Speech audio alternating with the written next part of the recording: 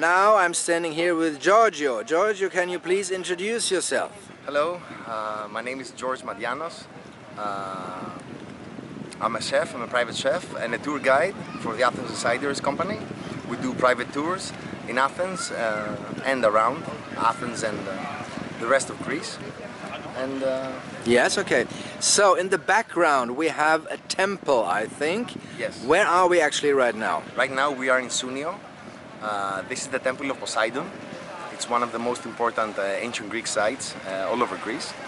Um, uh, we are 70 kilometers uh, south of Athens. Uh, where the temple is, it's, um, it's the end of a peninsula and uh, it's a very nice beach uh, resort area, you know. Many tourists come and visit. Okay. And Wha- Greeks. What kind of tours, uh, other tours do you offer for tourists coming from, for example, Germany? Uh, we offer a, a large variety of tours. We have around 20 thematic tours. Um, I do mostly the gastronomic tours. Our best-selling tour, let's say, is called the Flavors of Athens tour, uh, where we go around Athens. It's a walking tour, um, and we uh, you're gonna try a selection of uh, various Greek uh, recipes. We're gonna go to the central market.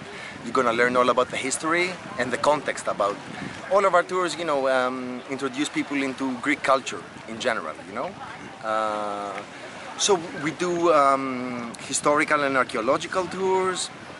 Uh, we do excursions like now in Sounio or maybe in ancient Olympia, in Delphi. Uh, we do f- a, tour called Photo Safari.